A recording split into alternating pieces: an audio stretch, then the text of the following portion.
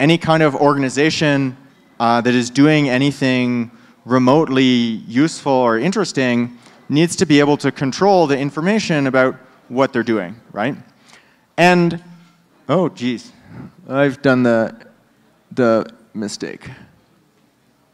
All right, well, we'll just, we'll have a, we'll have a reorg of the presentation. Um, and so the point is that we actually need private coordination, but that hasn't happened yet. So as an example, um, in the last uh, cycle, we saw Constitution DAO. I thought that was very funny and cool, but you know, it turns out that if you're fundraising for an auction and the total max bid is like right there on Ethereum, then like Citadel will just rug you. Great. So if we want these new systems that we're building to allow people to coordinate in new ways to actually work, we need to be able to have private coordination, right? And so a lot of the talks have been talking about various pieces of this. Um, for Penumbra, our strategy is rather than trying to build something that is fully general right from the outset, let's try to start with one useful application. Because so far, we actually, I don't think, have really seen a private product that actually had product market fit. Um, and so our answer to that is Penumbra. So what is Penumbra? It's three things. First of all, we have a cross-chain, or we have a, a, private proof of stake L1. Um, that acts as this cross-chain shielded pool. So we're IBC connected, and when someone moves funds into the zone, right, that's the privacy boundary. Their funds are shielded as they move in. And on top of that, what are they going to do while they're there?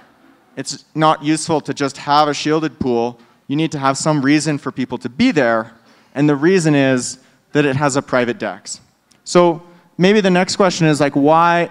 Uh, well, so yeah, this is the, the overall picture of that. We have this like big transparent ecosystem. Hopefully there will be some more private pieces coming later. Um, and you can, you can move in and out over IBC. And, and once you're inside of Penumbra, all of the actions are, are private. So this question of like, why do private trading is something that, that we thought about a lot uh, while we started. And, and the thought process is basically that um, because every market is also a market in information, any kind of information leak is also a value leak, right? So when someone is doing a trade on Ethereum and they're being front run, I think it's actually a mistake to think of that as just being about like, oh, there's like, you know, front running or whatever. The fundamental problem is that the action that that person is doing is pre-revealing their information. They're operating in a system where they have no way to control the disclosure of the information about their activity.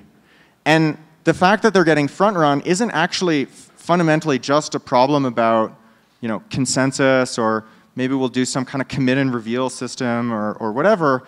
Um, but that's just the tip of the iceberg on people leaking information and that causing them to, to lose value. As another example, right, if you're a market maker, you're trying to stay flat and maybe sometimes you'll make a mistake if somebody can watch all of your trades and figure out, ah, I can predict the like 2% of the time that they're going to do a mispricing and then roll them over, then you know that you just lose. So the really interesting thing is that privacy in a trading context actually has this very quantifiable financial value. And so we can try to, our, our strategy is let's see if we can bootstrap, use that to bootstrap the creation of the genuinely private, decentralized infrastructure that we want to have by using the fact that allowing people to control their information while they're in this financial market actually allows them to unlock much greater capital efficiency. So that's the like big, you know, thought. Um, the biggest challenge that we have to actually doing that, though, is the state model.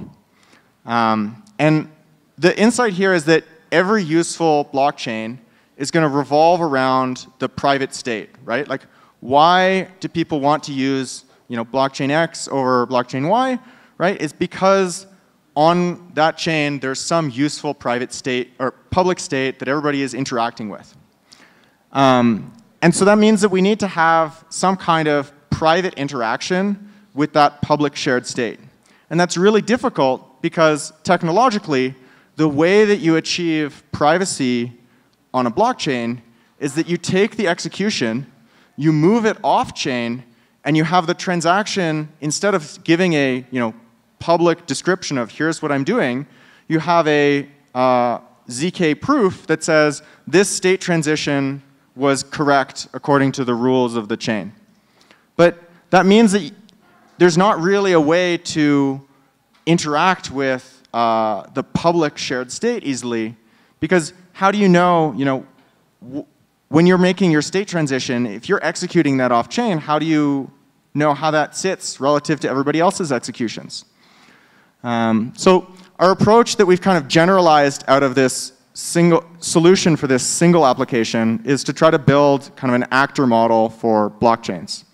So in this idea, rather than thinking that a transaction is actually going to do some execution on chain, it's going to call a contract, we say this transaction is going to pass a message to a contract.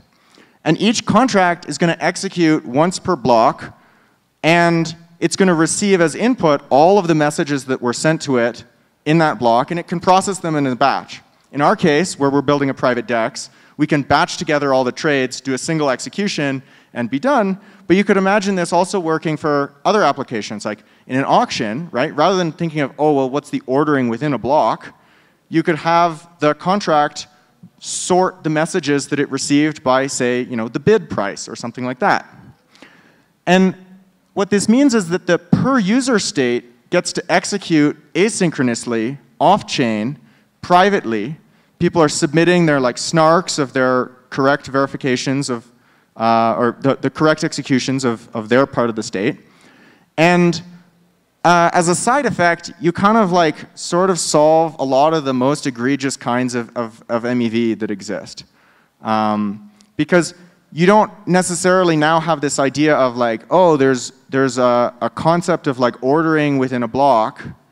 Uh, people are just having, you know, the, the chain is stepping through time, and the time resolution that it's possible to execute the contracts at is the same time resolution that is actually provided by the underlying consensus system. When you combine this with some kind of threshold encryption, you get a really cool, powerful, um, you know, sort of blind like commit and reveal execution system. Um, all right, so as an example of, of how that sort of general picture works, here's the, the kind of rough idea of how we do batch swaps on Penumbra. Um, so this part, in, in this slide, this is covering kind of the, the private per user state. So we start off with that user's private input into the batch, and they're going to encrypt that to a threshold key that's controlled by the validators. This dotted line is the kind of division between the private and, and public state, where below the line, that's all just on the end user device, and above it is on chain. Um, in order to record what their participation was, uh, in the same transaction that the user spends their input funds to contribute to the swap, they're also going to mint to themselves this private state NFT that's going to commit to all of the intermediate execution state of their participation. So that's you know the trading pair, their inputs, um, you know what what address they're going to have the funds minted to, et cetera. Um, and they submit this transaction to the chain. As it's included in a block, the validators can batch up all of those encrypted inputs. We use a additively homomorphic threshold encryption. So the validators can then decrypt the sum of the batch, the encrypted batch total without seeing any individual user's contribution. And now they have this public aggregate information which they can execute against the public chain state to get some public outputs of here's the, the batch price, uh, and we'll commit that into the chain state, where it can then be used uh, together with this state NFT that records the, the intermediate um, execution state to allow that user to privately mint their pro rata share of the batch and prove in ZK that they're minting the correct amount. So that's, this is all the, the, the part of how do you mediate the interaction between the private per user state and the kind of aggregated public state. But the cool thing is that now we're doing only one DEX contract execution per block. So what could we do with that, right? And when we look at the public state, we actually have you know, many, many different trading pairs that people are going to be executing in the same block. When we batch all those together and get the encrypted in inputs and, and decrypt that, we get this global picture of here's what all of the trading intent was for this block. So rather than executing that, you know, one at a time on individual pairs, well, we're only doing this once a block. Why don't we, you know, go all in and put all this into the, the big global liquidity graph and do global resolution of all of the trading intent in that block across the entire liquidity graph, right? So if, if maybe you want to trade asset A to B, but there's more liquidity between uh, A and C and C and B, perhaps the DEX decides, well, the optimal routing is actually that we, we do this multi-hop thing. Um, we can also have the chain arbitrage all of those prices on the graph to be consistent with each other so that after we put out these effective clearing prices that are going to be used by the, the, the swappers, um, the chain is just stepping in one, you know, from one block to the next between one set of consistent prices to the other with everybody getting their pro rata share of whatever the, the trade was. So this is actually like quite cool, and you get to do all of this computation because you know that you're only doing it once a block. So that's this, you know, global picture.